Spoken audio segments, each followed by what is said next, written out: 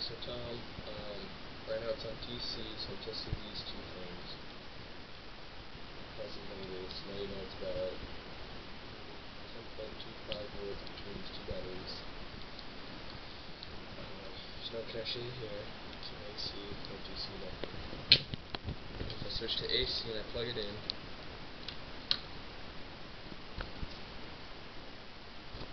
you start to hear the transformer work.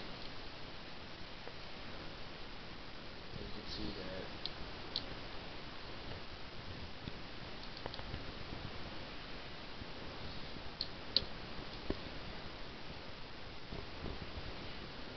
And so it's outputting about 16 volts AC into transformer.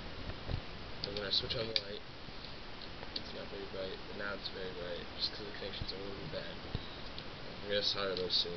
So it's outputting about 14 into the transformer.